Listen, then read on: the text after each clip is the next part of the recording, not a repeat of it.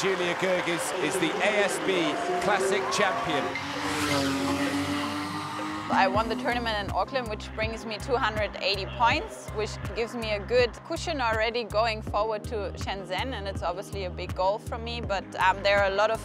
uh, tournaments ahead of me, which is Doha, Dubai, Indian Wells, Miami and Charleston, and there are a lot of points which are coming up, so hopefully I can um, do some more.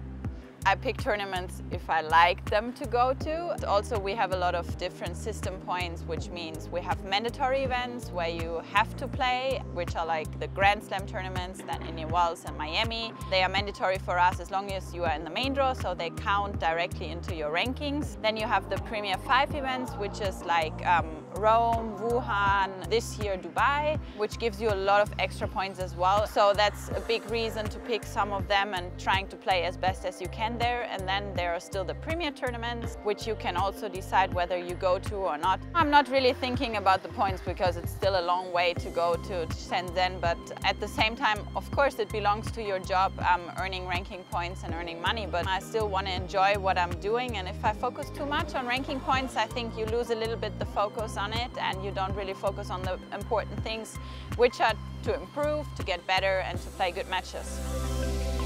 Make sure you follow me on the Porsche race to Shenzhen.